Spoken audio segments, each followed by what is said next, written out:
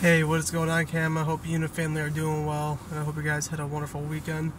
Um, sorry, it's a it's a little late. Um, I was meaning to do this during my lunch, but had to deal with some students, and by that time, I only had so so long to um, finish my lunch. So I just wanted to do that in peace, away from teachers and students. So um, I'm doing it now before I head home. Um, obviously, just a quick update. I it's just the same story, different weekend, uh, different week. Um, the the They to go into, workouts, like extreme detail with the tibia. Like I don't want to. the workouts um, have been fine. Um, I gotta get um, stocked on my pre-workout and creatine and protein, so I gotta go shopping for that. Um, so I think that's probably why I'm not enjoying it as much. Um, I, I need a new pre-workout that gets me, you know, a nice pump and gets me, you know, amped up a little bit. Um, still trying to, you know, uh, you know, discover new pre-workouts, but um, but besides that, workout's still going great. Um, and I think I think now I'm in my second cycle, second or third cycle. I got to double check. Um, so I know I'm almost done with um, phase two. Um,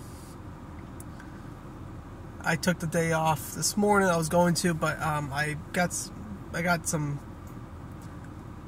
I went to bed at um, I think around like 10, 11 o'clock, which is late for me.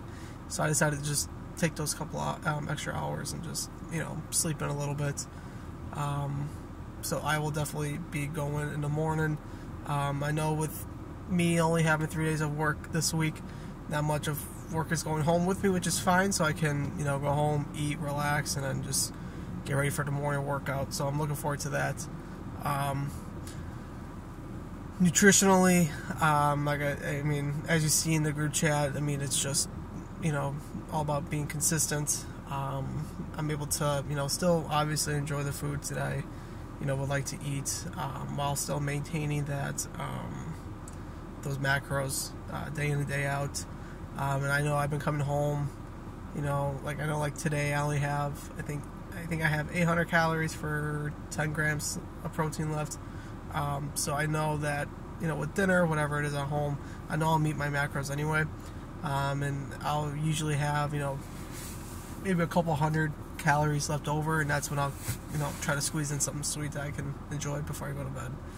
Um, I did weigh myself this morning. I was 174.8. Um, I don't know how to take that. I don't know if that's good. I don't know if that's bad. I know last um, last check-in you mentioned you know how you know my body you know with me being sick, all the inflammation and everything, um, it might fluctuate. So I wasn't really sure what to really um, go about the 174.8. Um, I mean, hey, if I if I lost that much, No. I, I will give myself credit. Um, but um, yeah, just wanted to get your two cents um, on that. But um, otherwise, everything else is going good.